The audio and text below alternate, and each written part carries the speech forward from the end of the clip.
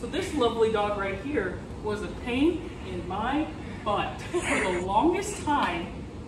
And then she came here and I was like, how are they, meaning Elle, going to handle this big old Dane?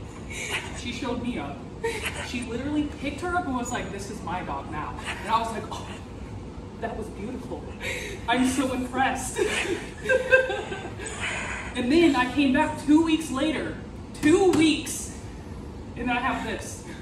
Who knew I would get this back? I think she just spray painted another dog, put little socks on her, and said, this is Ellie. I'm very impressed. Thank you, Elle. Bulletproof, everyone, for my brand new dog. I just had a swap. It was great. Do you have anything to say?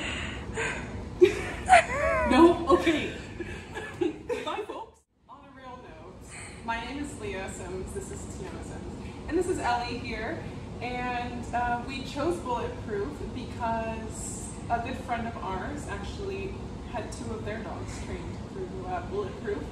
And they highly recommended it. And I got to see their dogs before and after.